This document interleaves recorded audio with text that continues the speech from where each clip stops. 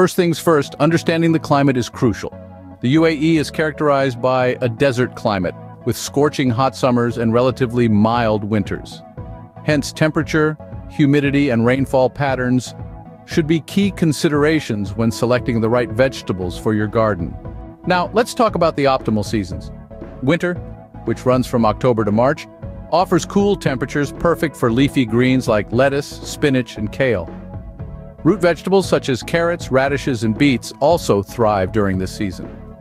With the arrival of spring, from March to May, the warmer weather allows for the planting of tomatoes, peppers, eggplants, and herbs like basil and cilantro.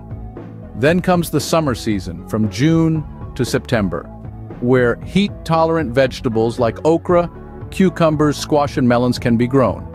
However, it's advisable to use shade structures or grow in containers to protect plants from extreme heat.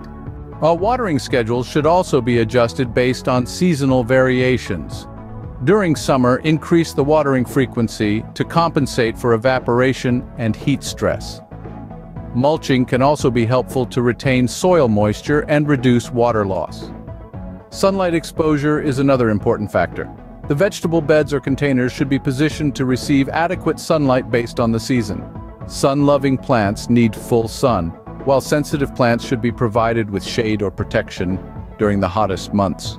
Soil preparation is a vital step. The soil should be prepared by adding organic matter, compost and nutrients suitable for vegetable growth. Soil pH and fertility levels should also be tested to create an optimal growing environment.